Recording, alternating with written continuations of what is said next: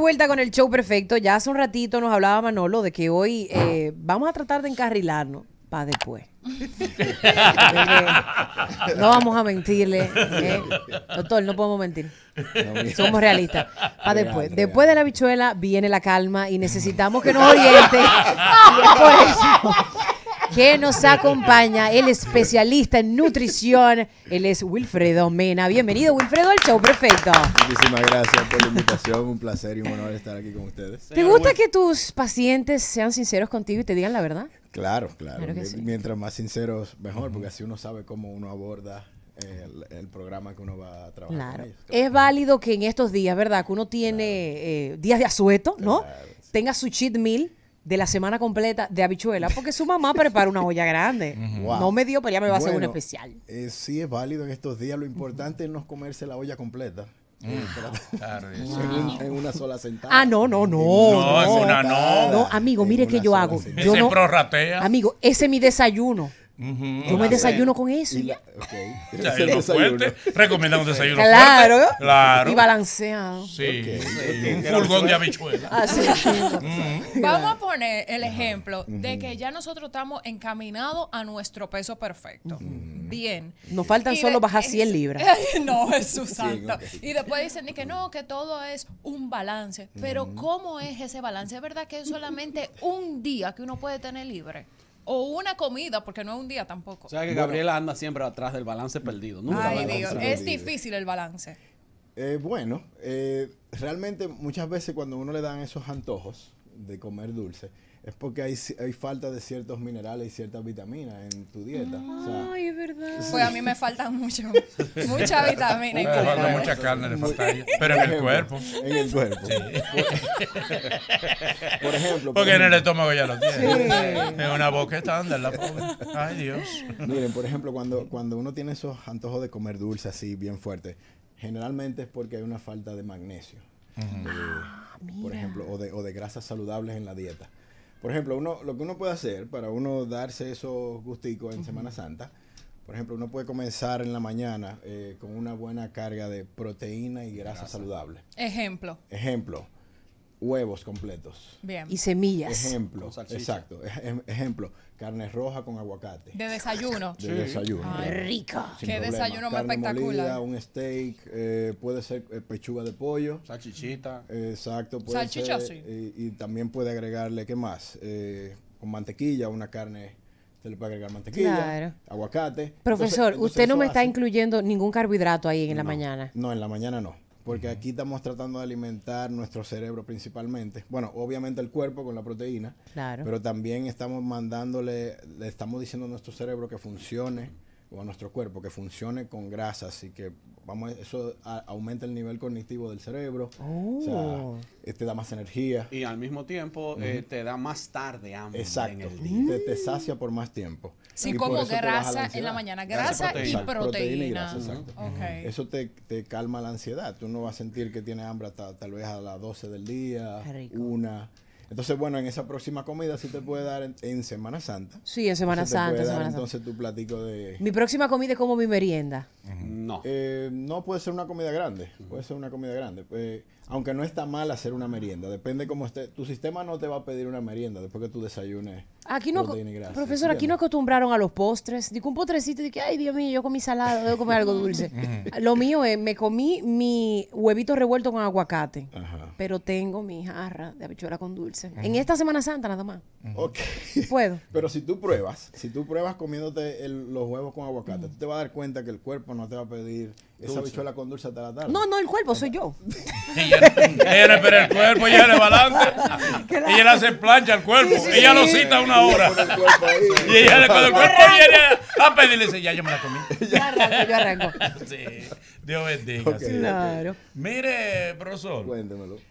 ¿Es posible que la gente yéndose a un risol pueda de alguna manera comer saludable? Arrancando por risol. Oh, sí, oh, claro, totalmente. ¿Y cómo? Uno se puede aprovechar. Uno El vaya a mejor- matársela. El mejor sitio Mira, para tú hacer tú una comer. nutrición Oye, buena. Sí. es un resort. Si eres alemán, mi amor. No, eres alemán. Alemán, Luis, pero No, dominicano. pero mira, No, Sí, no, sí, no, eres- Los europeos se van a un viaje de hoja y eso. Y los dominicanos, una loma que no permite que del otro lado no Mano, vean. que no se ve. Manolo, si el, si, el, si el turista es americano, es probable que eso no pase. Pero el alemán come que da miedo y se lo digo de corazón. Bueno. Moño. Mira. Mira. Dígame, Pero, pero ¿cómo es posible usted hay- yéndose a un resort comer saludable? yo creo que hay la mejor oportunidad de uno darse una buena carga, pero de buena, de buena comida. Porque, por ejemplo, eh, yo, ¿cómo lo haría? Sí. Yo me voy de una vez a las carnes, me voy de una vez al salmón, me voy de una vez al, ¿entiendes? El pollo. Sí. Y entonces hago, o sea, una carga súper proteica. Ok. Yo, ese es mi caso. Obviamente también voy a comer mi arroz, también voy a comer mis... Pero arroz poco, ¿no? Una no, yo- taza. no, en mi caso... pues, Sí, pues mi usted no se porque puede. ellos son Usted está así. curado, doctor. Ya usted se Háblenos a los sanó. enfermos. Sí. no hable para usted, usted está curado. Claro. Háblelo porque todavía estamos en el vicio de la Mira, comida. tiene la mira, tapada, mira, ¿no? lo- Lo importante es que en el plato, en la loma que usted se lleve, Sí, no sea principalmente de carbohidratos, sino que sea principalmente de proteína, ok. un- una buena carga de vegetales y entonces un tercio de ese plato, vamos a decir un cuarto o un tercio de ese plato sea entonces de carbohidratos. Usted le pone, pero no, no llenarme el, el 70% del plato de arroz, Sí. porque entonces ahí es que vamos mal. Pero los dominicanos somos Y, así es- todos. y esos carbohidratos deben de ser complejos. ¿Y cuáles serían los carbohidratos complejos para que la gente los Idealmente entienda? complejos, que son los que el cuerpo mejor aprovecha, eh, que serían, por ejemplo, arroz, eh, tenemos víveres, tenemos plátano maduro, tenemos batata. Yautía. eh, yautía puede ser también. ¿Esos son para no comerlo o para comerlo? Esos pa' son los buenos de Sí, los comer. Los malos Ah, son el- los procesados. Pan, harina. Pan, harina, todo eso. O sea, entonces usted, perdón, descarta que en la tarde uno se dé un snack bar. El snack nada más tiene papa frita, Ay, sí. te- te- te- alita Y frita. café Es una frío con Eh, galletita. Sí, entonces ahí lo que hay que hacer es que, bueno, sí. ¿Cómo podemos hacer eso? Eh, No pase bueno, por ahí. Está difícil. Miren, yo lo que en, en Yo mi di la técnica de la pizza el otro día. Hizo la técnica de la pizza. La di. Oye, ¿qué y, técnica? y la del hamburger es fácil también, quitarle el pan. Ok. Pero la La pizza. la- a la pizza. Oye, ¿Qué la te- pizza. La de la pizza es el- todo el triángulo, ¿verdad? Echarle todos los ingredientes para atrás y comete el bordecito solamente Oye. con todos los ingredientes. Con el queso y... Ya tú sabes. Bueno, mira. Bueno, como hay, como hay muchos hamburgers, Ajá. pues usted coge carnes. Coja las carnes, coja las carnes. Está bien, le puede agregar un, vamos a decir, si usted se agrega cuatro carnes de esas, póngale, está bien, use dos lonjas de, de pan, pero para esas cuatro carnes. Sí, me no gusta. al revés, que sean un viaje de panes y Sí. que sean solamente dos pedacitos de, o un pedazo de carne. Es recomendable que en esos días que la persona se está de risol o está de montaña o está en río, tome, ¿qué te digo? 20 minutos, 25 minutos para una caminadita, Ay, sí. para bajar la, para, bajar la vieja loma que se dio. ¿Verdad? Sí, claro. Camina un porque, o sea, chin. un poquito de cardio. Es bueno, eh, vamos a decir, aumentar el, lo que se llama el VO2 max, lo que es el, la capacidad ese del el cuerpo. VO2 max. La ¿Qué capacidad, lo que es bueno. Que beba más, dijo que El vio tu más. VO2 max. Esa es la capacidad, esa es la capacidad. Es el rango que tiene el cuerpo de, de que sus órganos, como el, el corazón y los pulmones, eh, tengan capacidad aeróbica, o sea, resistencia cardíaca, vamos a decir, Oh, eh, de que tú puedas dura, de que tú puedas hacer la caminadora porque sé yo cuánto tiempo, bicicleta, puedas correr, puedas hacer un maratón, ¿entiendes? Oxígeno. Mientras más, mientras más capacidad aeróbica tengamos, pues más saludables y más vamos a durar en el tiempo. Y súper Claro. importante, eh, ahora que habla del cardio, es súper importante el entrenamiento, aparte de comer bien, el entrenamiento de resistencia es súper importante para crear músculos, porque la cantidad de músculos, vamos a decir, la capacidad que uno tenga de crear músculo y mantener su músculo, Sí. es lo que te dice la longevidad que tú vas a tener. Ah, ¿Entiendes? ok. Gente con músculo dura O más. sea, la gente, las personas que tienen y mantienen sus músculos y comienzan mucho antes, pues duran más tiempo. Sí, para que no te vea un flaco por- blandito. por- porque Sí, puede ay, proteger sí. O sea, adelgaza y está blandito. Sí, Exacto. y el músculo se pierde muy fácil, así Claro. que hay que trabajarlo. Claro, después de, los, después de los eh, 35, 40 años, Ay, oiga, cada mira. año, cada año el cuerpo pierde un por ciento de músculo Por eso es tan importante comenzar temprano. Y no importa la edad, tú puedes comenzar a los 45, puedes a los 50, idealmente mientras más joven. Pero es bueno mantener esa musculatura con el tiempo porque eso te protege, eso protege tus órganos, eso es lo que te da la fuerza para tú cuando tú te vas a tropezar, te puedas, no te caigas, ah, subir escaleras, etcétera. Es cierto que se puede atrofiar el músculo o inclusive ni siquiera subir de estatura si inicias muy joven. Oye, di que te va a quedar chiquito. Sea nana, sea nana. Sea nana. Es verdad, la gente sea nana. Pero dicen que, que, que si a uno, desde niño, lo cargaban orquetado a los lados. Ajá. Uno quedaba gambado. Eso es verdad. Pero eso es verdad. Caminaba en paréntesis uno. Sí. Gamba, gambaoso. Es verdad eso. Es como un alicate. Si te cargaban orquetado. Como un alicatico, ¿verdad? como un alicate. Una pinza. Una pinza. Eh, pues yo creo que a mí me cargaban así. Pero me lo arreglaron. Ay, gracias a Dios. Usted era corombo, corombo. Esas son las pesas. ¿A qué edad usted empezó? ¿Eh? ¿A qué edad usted? No, yo comencé tarde. La entrenadora, la entrenadora, eso eran las pesas. ¿A qué edad empezó? 101. No, yo comencé después de los, como los 21. Pero que hay personas, hay, hay niños, que hay jóvenes que comienzan desde los 15, 16 hasta antes, de los 13. Y no tienen ningún problema. Muchas veces tiene que ver con con, eh, vamos a decir, herencia, herencia genética. Ajá, sí, claro. Eh, poca poca capacidad de producir hormonas de crecimiento. ¿Cómo, puede la gente pues eh, lidiar con el hecho de que quizás cuando entra en un régimen saludable de alimentación, pues el aliento se le pone antisocial. Ay, sí. Ay la cetosis. la proteína. Sí, le dicen, caramba, mío, aléjate de mí, no tardes más. y vete de aquí. Depende qué tipo de eso hace de feria. ¿eh? Le dice la gente, ahora coge tu, coge tu maleta, Satanás, y vete de ahí.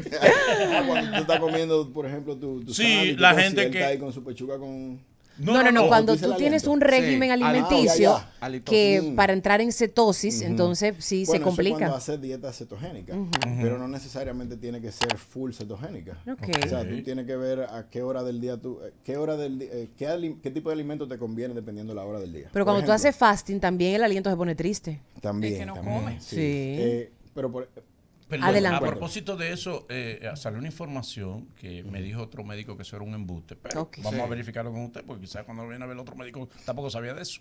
El que me dijo a mí eso. Es cierto, salió una información que da cuenta que el 91%, 95% de la persona que hace eh, fasting, pues eso puede afectar su salud cardíaca. Es cierto. Que haga fasting que pueda afectar su salud cardíaca. No, tengo conocimiento de ese estudio. No desde mi punto de vista, no creo que le haga problema con, que tenga problema con su salud cardíaca. El que tiene un problema cardíaco lo tiene. Pero profesor, usted sugiere que se haga fasting con supervisión de un especialista, porque yo puedo decir que bueno, voy a durar 16 horas sin comer, pero tengo una deficiencia de muchísimos minerales. No, y además, eh, cuando uno lo hace así solo y sin una guía, pues, vamos a decir que tú haces un fasting a lo loco, a lo pero entonces después cuando viene a comer te acaba con el mundo claro. no vale la pena. Entonces tú estás echando todo para atrás. ¿Hace fasting usted? ¿Hace Yo fasting? no hago fasting. Ok. Ah, para él no fue nada fácil. No, no, que no es fácil. Ahí, entro yo y le hago esta pregunta.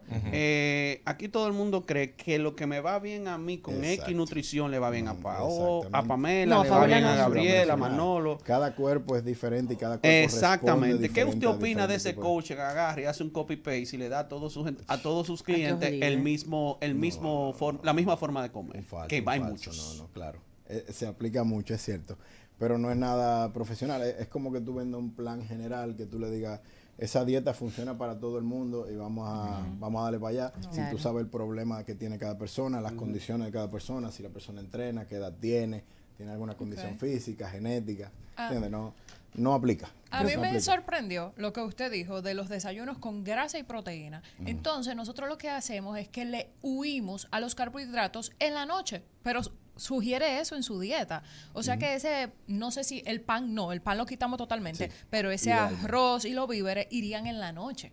Sí, eh, eso, el beneficio de comer carbohidrato en la noche, vamos a decir que tú no comiste carbohidrato en el día completo. En el día entero. el beneficio que tiene es que también hace que el cuerpo se relaje más y tú puedas dormir más profundamente. Como que tú caes Un magnesio natural. Sí, porque es lo mismo que sí, porque el arroz es ornífero. Sí, te amema. Cuando tú te comes el, arroz al mediodía, te pasa lo mismo. Sí tú tienes un momento que tú dices, wow, pero qué sueño. Tú llamas y dices, ponla para las cuatro. Muévela.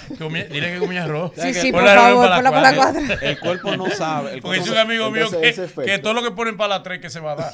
Sí, sí, a las tres, es verdad. Que a las tres vaya, eso es que se va a dar. Es una hora santa. Lo que pasa es que el cuerpo no sabe a qué hora tú le estás dando comida, porque tú estás comiendo de una manera aquí, pero en Japón están en otro horario. Entonces es una situación inteligente. Lo más inteligente que existe es el cuerpo. Oye, pero Raulito, pero por Dios. la gente y el estómago tiene, es geográfico. que, que, tú comes aquí, pero el estómago no sabe si tú estás en Japón. Lo, que, no, lo que quiero decir es que la hora en la que tú estás comiendo no implica eh, realmente eh, ningún conocimiento del mismo. Si tú estás comiendo aquí en un horario y tú coges un avión, Manolo, de 8 horas para atrás y allá tú estás de 10, vuelve a dar. No, tú estás hablando de una gente que está de viaje. tú estás hablando de una gente normal aquí que de noche se baja un arroz. Sí. ¿Verdad? Si se baja un arroz, ahí mismo acuéstate. Pero, Mándate de la cama. Pero, profesor, cuando decimos un arroz, no un locrio, porque a los muchachos les gusta un locrio de salami, entonces, que en la noche, locrio de salami encendido, con tostones. Un arroz chino, es sin aceite y sin nada. Es el Por cierto, el, yo he notado como que el chofán Primero, no llena. Es noble, noble. ¿Qué, ¿Qué, pasa con el chofán? Como que no llena y no da barriga el chofán. El chofán tiene como unas, unas grasitas por ahí. No, sé cuál es el truco de ellos, como que ellos cocinan el chofán, pero es medio especial. Él. ¿Es saludable el chofán o no? Es que depende. ¿Cómo lo haga? Depende cómo se haga. Y depende, por ejemplo, también, ahora que mencionas eso, es súper importante el tipo de, de condimento que tú usas para cocinar. Por ejemplo, cuando tú usas aceite de coco para tú hacer tus comidas. No es lo mismo que de canola. No es lo mismo que de canola o el vegetal. claro. ¿Entiendes? O sea, les reduce, eso les reduce mucho. Cuando tú usas el aceite de coco, que es el ideal para uno cocinar, les reduce mucho los valores calóricos. Ok. Profesor, una última pregunta. Eh, tiempo de asueto no debería ser, pero la gente le da el codo. ¿Qué bebida usted recomienda baja en calorías para esta Semana Santa? Sí. Jugo de nube. Mucho jugo de nube. Ay, Jehová. Ay, recomienda una, hombre. ¿Mm? No por ponerlo triste, pero. Eh, la idea sería. De ninguna para abajo. De ninguna para abajo. Tú eliges, tú eliges. Una cerveza. Como todavía no patrocinan este. Márchele. Realmente. Y háblele de las calorías vacías, agrégala ahí. Exacto, esas calorías vacías de cuando uno consume alcohol. Bueno, aparte de eso de las calorías vacías, el problema del alcohol, no, no, no quiero no satanizarlo, no me lo satanice. Toda la mayoría tienen, son altos en calorías.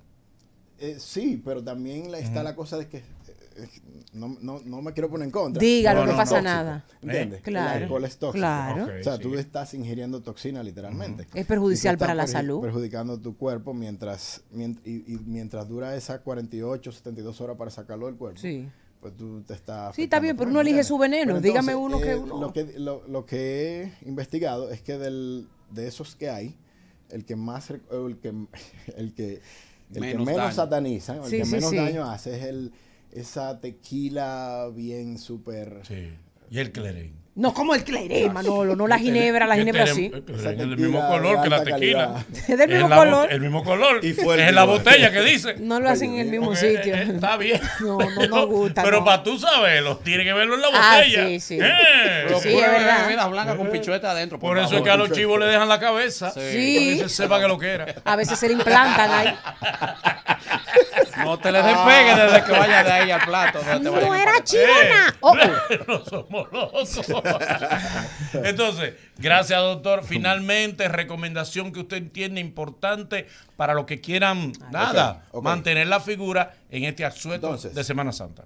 Eh, como van vamos a tener esos, esos desarreglos de Semana Santa, que son casi inevitables, pues entonces vamos a agregar suficiente agua, mantenernos súper bien hidratados, eh, idealmente con un poquito de sal de Himalaya o sal marina, eh, para rehidratarnos. Agua con sal. el agua, Ay, ¿verdad? Qué rico. Eh, primera Pero es que el agua, el agua salada da, da, sed. Es para que beba más agua. No, no. O sea, porque no es un viaje de sal. Ah, ok. Es una pizca. Claro, Al gusto, al gusto. así. Bien poquitica. Eso rehidrata el cuerpo. Partía. esos son los que eso es lo que uno pierde cuando uno hace alguna actividad física, electrolitos. Los electrolitos. Entonces, rehidratarnos, cuando hacemos el desarreglo de la bichuela con dulce, no tratar de que no sea desayuno, comida y cena. Prometido. Vamos a tratar de equilibrarlo. Vamos a desayunar bien, nos comemos nuestra bichuela con dulce. Y entonces cenamos miti miti. Ok, me gusta, sí. O sea, para, para, no decir que, que, lo cancelamos. Y hacer alguna actividad física, por lo menos una caminadita para pasear el perro. Una caminadita, una bicicleta, eh, si puede ir al Dejate arrastrar por la sola. Sí, déjate agarrar. Muévela, Ay, no, te mueven. Si corres en la arena, ese, ese fuerte. No, y si tú estás en risol, esos risol que son famosos, ah, son gigantes. También tienes no su gimnasio, en el puedes caminar por la playa, todas esas cosas. Eh, ¿Qué más? Descansar, tratar de descansar suficiente, darle descanso al cuerpo, porque eso es una, eh, tratar de bajar nuestros niveles de cortisol. El cuando el cortisol sube demasiado, pues entonces tenemos acumulación de grasa. Ay, el mío está alto. Líquido. Ay, buena sí. excusa, tú. el, tirador. Sí, también. ay, sí, el tirador. bueno. Estoy mala. Bueno, chévere. Gracias, doctor. Un placer. Excelente. Gracias por la ¿Dónde la gente se puede comunicar con usted para cualquier tipo de consulta y darle seguimiento a su entrenamiento y a todo eso? Puede hacer el, al 829-641-6745. Ahí tengo también WhatsApp. Y puede ser por mis redes sociales, eh, ARQ Will Mena. ARQ W-I-L-L Mena. Yo soy arquitecto también. Oh, ah, pero, ah, oh, pero fino. Déjeme seguirlo ahora mismo. Constructor, compadre, de cuerpos. como debe ser. Gracias, profesor Alfredo. Lo hemos tenido aquí, un nutricionista que nos da informaciones para que en esta semana mayor comamos, pero mantengamos la, forma como debe ser. Gracias. Seguimos con el show. Perfecto. Perfecto.